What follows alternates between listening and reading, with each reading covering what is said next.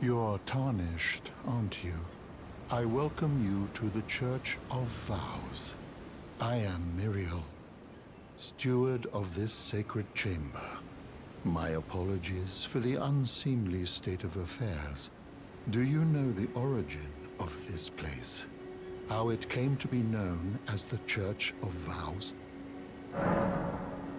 Well, that is a shame. But who can blame you? The shattering has caused us, all of us, to lose sight of something very dear.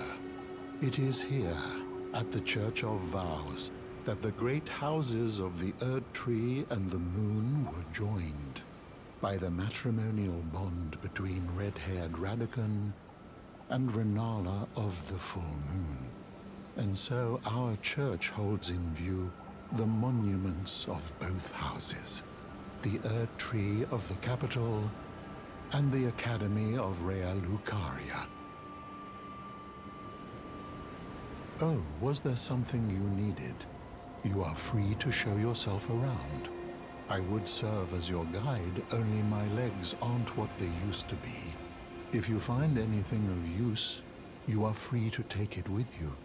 Unless, perhaps, you are in search of instruction, in which case I will share all that I know.